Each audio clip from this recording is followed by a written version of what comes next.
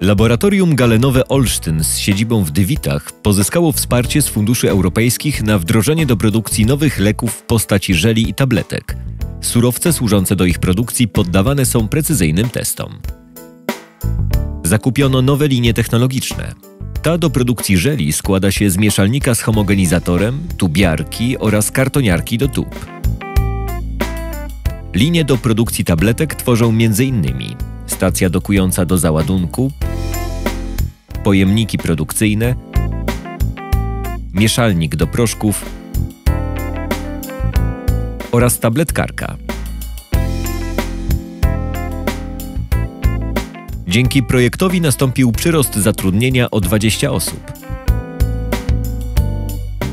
Dzięki temu przedsięwzięciu firma notuje rok do roku wzrost przychodów o 30%.